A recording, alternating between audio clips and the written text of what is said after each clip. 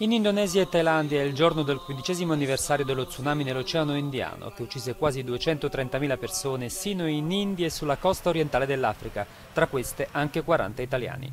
Nella capitale provinciale indonesiana Banda Aceh il governatore locale ha ringraziato gli oltre 150 paesi coinvolti negli aiuti alla ricostruzione, mentre i parenti delle vittime hanno visitato una fossa comune dove queste sono state sepolte.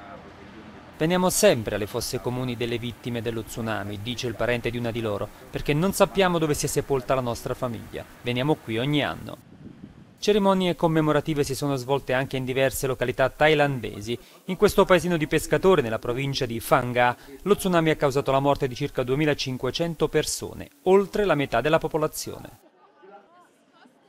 Era luna di notte del 26 dicembre 2004 quando un terremoto di magnitudo 9.1 colpì l'Oceano Indiano al largo della costa nord-occidentale di Sumatra.